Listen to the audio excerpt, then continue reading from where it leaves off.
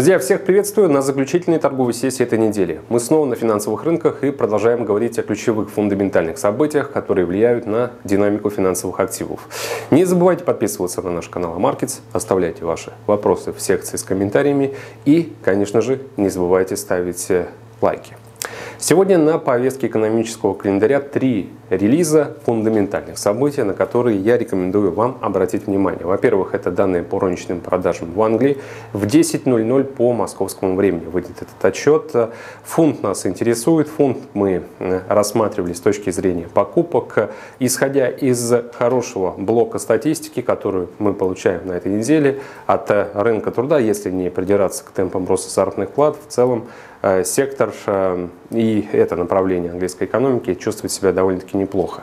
С политическими рисками, связанными с потенциальной э, отставкой через вотум недоверия Борису Джонсону, э, мы тоже разобрались. На рынок э, этот фонд пока никакого влияния не оказывает. Я по-прежнему уверен в том, что до вот этого совсем пессимистичного для Джонсона сценария дело не дойдет, и в конечном счете все само собой разрешится. Поэтому фундаментальные факторы, они остаются сейчас определяющими. Следом за позитивным отчетом по рынку труда был э, опубликован релиз по индексу потребительских цен, и инфляция в Англии, как вы помните, достигла максимального значения за последние 30 э, лет, с 1992 года. Максимум и по базовому индексу потребительских цен, соответственно, э, друзья, те значения 5-4% по инфляции – это точно аргумент для того, чтобы Банк Англии повысил процентную ставку. Причем заседание Банка Англии состоится уже через неделю, 3 февраля. И я э, среди тех инвесторов, трейдеров, э, спекулянтов, которые считают, что сейчас шансы на повышение ставки выше, чем отсутствие каких-либо проактивных действий со стороны регулятора в ответ на повышение индекса потребительских цен. Поэтому по фунту была сделка в лонг, я пока ее э, держу, тем более, что Reuters, которые провели опрос э, среди э, самых авторитетных экспертов рынка, лидеры мнения, показал то, что большинство из них также склоняется в пользу того, что Банк Англии начнет действовать уже через неделю. Э, следом идет за розничными продажами в Англии э, событие, пресс-конференция, выступление Э, главы Европейского центрального банка Кристин Лагард в 15.30 по московскому времени. Евро нас тоже интересует. Сейчас пара котируется на отметке 1.1323. Мы ждали сегодняшнего выступления Лагард, потому что после э, вчерашнего отчета по инфляции хочется уже понять, что ЕЦБ тоже дрогнул и больше не разделяет точку зрения, которая некоторое время была свойственна еще ФРС, что рост инфляции – это временное явление. То есть для ЕЦБ даже смена э, риторики и вот этого позиционного мышления, что все само собой пройдет, на то, что при необходимости мы готовы действовать, это будет воспринято как жесткий сигнал, риторика и возможность для того, чтобы Европейский Центральный Банк также подключился к гонке прочих регуляторов в борьбе, в противостоянии с высокой инфляцией через ужесточение национальной монетарной политики. Поэтому по евро я тоже склонен полагать, что какие-то локальные максимумы мы еще точно а, увидим. И все это будет продолжаться ровно до тех пор, пока Э, доллар не определится с э, дальнейшей динамикой. И на десерт сегодняшнего дня розничные продажи в Канаде, канадский доллар нас тоже интересует. В принципе, все, что я сейчас сказал, друзья, э, в отношении британской валюты можно накинуть на ситуацию с Канадой. Высокая инфляция, прогресс на рынке труда, ожидание еще одного сильного отчета по розничным продажам и, соответственно, возможность для повышения процентной ставки. Тем более, что канадец в этом свете может быть интересней, потому что заседание Банка Канады не в начале февраля, а уже на следующей неделе.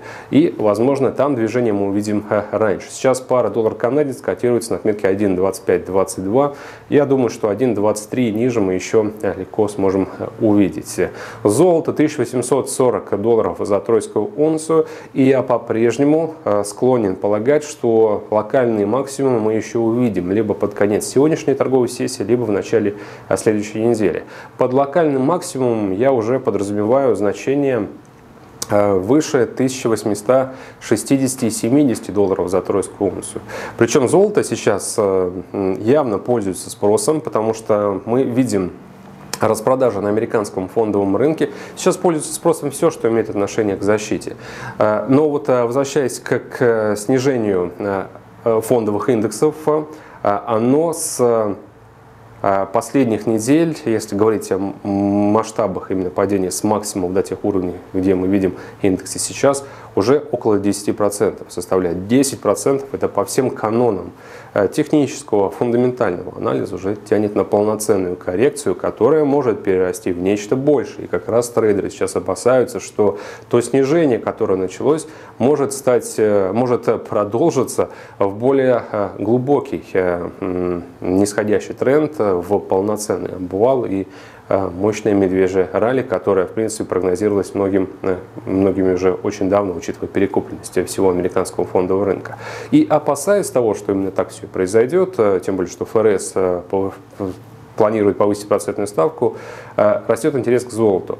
Кстати говоря, в эту среду, в моменте, когда золото выросло, этот рост совпал со значительным притоком средств в золотые TF-фонды. В частности, в крупнейший золотой TF-фонд SPDR Gold Shares за день было влито 305 миллионов долларов. Я не припомню, друзья, когда последний раз а, наблюдал подобные масштабы интереса именно к золоту. Ну, в общем, здесь нужно уже делать выводы. Возможно, многие перестраховываются и, честно говоря, правильно делают. Поэтому я верю в рост рынка драгоценных металлов еще до новых локальных максимумов.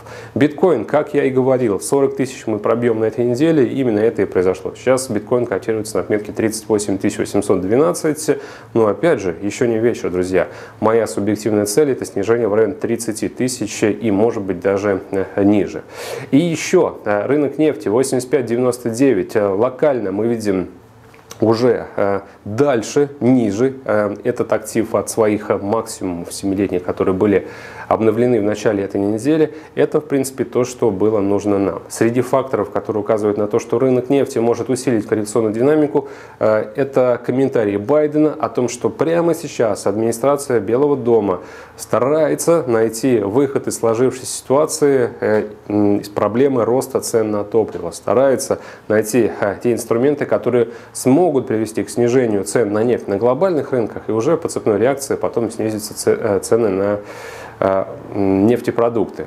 Э, плюс ко всему, э, продажа стратегических резервов в Китае – это тоже актуальная тема.